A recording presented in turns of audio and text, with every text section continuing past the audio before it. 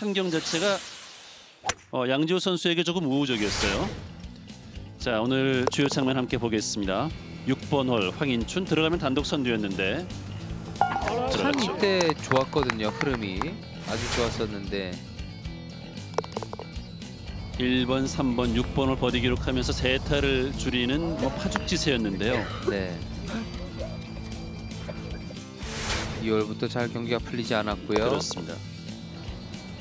12, 13번 홀에서 타수를 잃었고 특히 16번 홀도 티샷이 너무나도 아쉬웠어요. 네.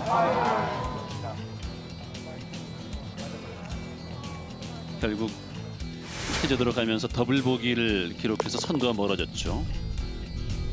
자 반면 김태훈 선수는 좋은 플레이를 했습니다. 굉장히 공격적인 샷도 잘했고요. 어, 또 숏게임 능력도 아주 좋았습니다.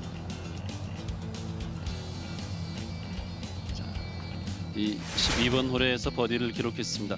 그런데 13번 홀에서 위기가 있었고 자, 14번 홀 또 버디. 네, 다시 또 bounce back 하면서 네. 어, 찬스를 만들었습니다. 뭐 이후부터는 안정적인 플레이를 했어요. 네, 어, 워낙 또 실력이 있고 어, 개막전부터 안정된 경기 기량을 보여주고 있어요. 또 최종일도 기대해 볼 만한 아주 좋은 내용이었습니다. 13번 홀 더블 보기로 위기를 맞았지만 이후에 좋은 플레이를 하면서 아, 김태훈 선수가 공동 선두로 3라운드를 마쳤습니다.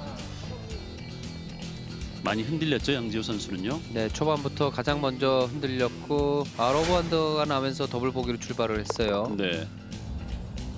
3번 홀에서 더블 보기 하지만 이 어려운 홀에서 이 긴 putt이 들어가면서 또 굉장히 좋은 흐름으로 가져갔죠. 그렇습니다.